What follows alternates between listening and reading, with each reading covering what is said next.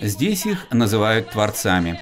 И в большинстве своем это девушки от 14 до 35 лет. Особенности в этом никакой нет. Женщины испокон веку славились своим желанием все украшать. В одежде, в быту, в мелочах и в общем. Не зря среди дизайнеров столько талантливых рукодельниц. Для них нет предела совершенстве. Все хочется улучшить и еще раз улучшить. В экспозиции есть даже иллюстрации к фэнтезийной книге, и они действительно улучшают мудреную повесть из языческих образов.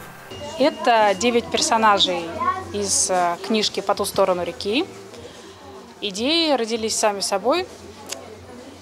Я прочитала все четыре книги, поняла, что я не могу не нарисовать. Пространство талантливой молодежи – это проект, направленный на расширение возможностей, открытие новых имен, популяризацию современного искусства во всех его проявлениях. Когда вас окружают такие забавные создания, мир, конечно, меняется по воле самих творцов.